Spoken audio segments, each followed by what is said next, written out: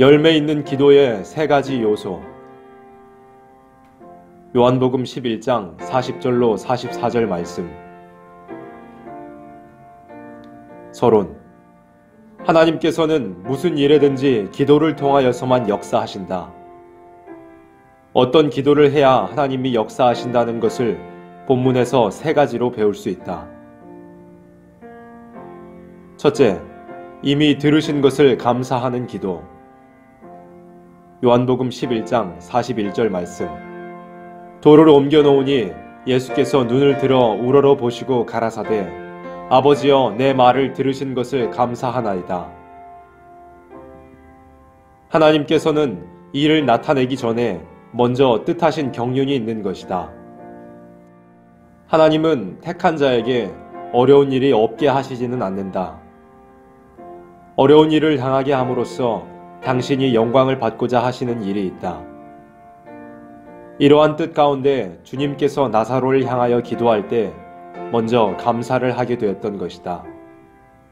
우리는 무슨 일을 당하든지 기도할 때 먼저 하나님의 뜻과 경륜이 반드시 이루어질 것을 믿고 기도할 것이다.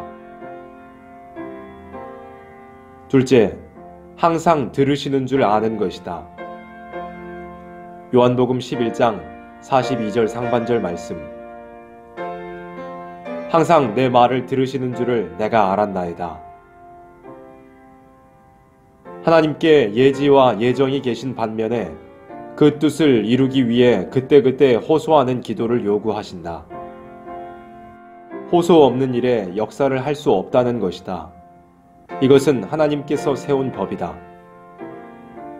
예를 들어 국가에 큰 일이 있을 때 백성이 단결하여 호소하는 것을 따라 움직이는 일이 있는 것과 같다.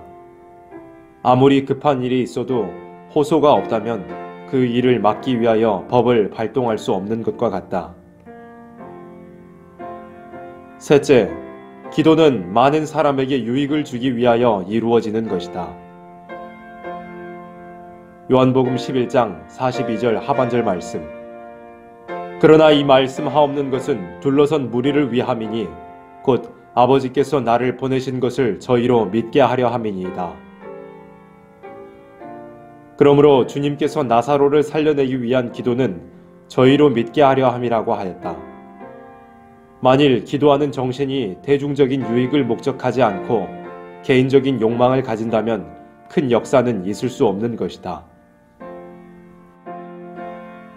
결론 기도를 통하여 당신의 무소불능의 힘을 나타내시며 인간이 절망, 낭망의 슬픔을 머금고 있는 그 자리에서 영광을 받고자 하는 것이 하나님의 큰 뜻이 되는 것이다.